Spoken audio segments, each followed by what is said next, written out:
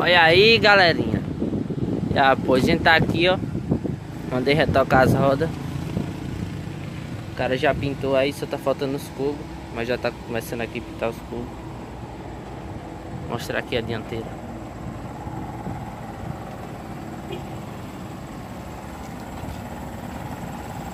Ele fez uma erradinha aí, pintou as tampas, mas depois a gente vai trocar essas tampas, botar as belgas, né? Mas já tava feinha as tampas. Aí tem problema não.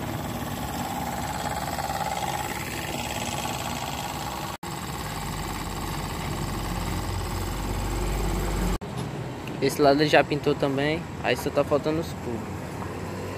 Pintar os cubos normal como é mesmo, vermelho.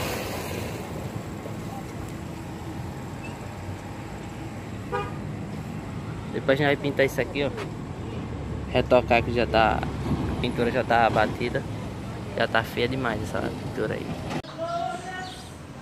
Aí galerinha, como ficou as rodas, já pintada. Aí o rapaz, na hora que ele foi pintar os cubos, ele não, não isolou essa parte aqui, ó. Das porcas, aí ficou assim, vermelho. Aí, o que, que nós vai fazer? A gente bota umas capas de porca aí pra ver se fica diferente.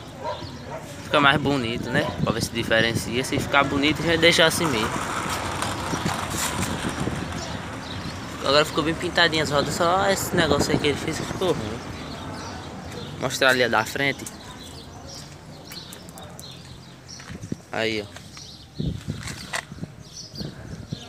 A da frente como ficou os cubos aí, vermelhinho.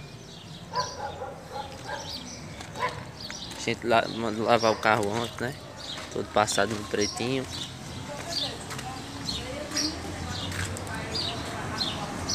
Daqui a pouco vai tocar esses pretinhos. Passa aqui ó, nos paralamas, reservatório de interclínio. Aí ficou assim as rodas. A gente vai botar as capas de porca belga aí. Beleza? Valeu galerinha.